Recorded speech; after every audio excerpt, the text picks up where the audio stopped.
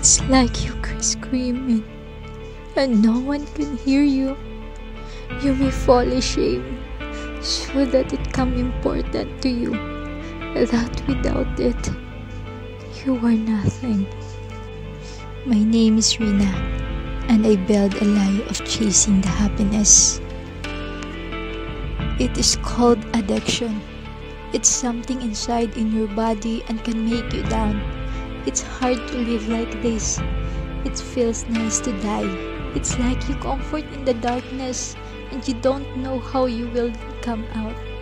Everyone around you will judge you and even your own family hurts you. I'm so feeling alone. No one cares about what I feel and what I want. No one understands me how it hurts I feel every day and every night. I always fake my smile and laugh. I'm so helpless. The pain inside my head and my heart, I'm so ashamed.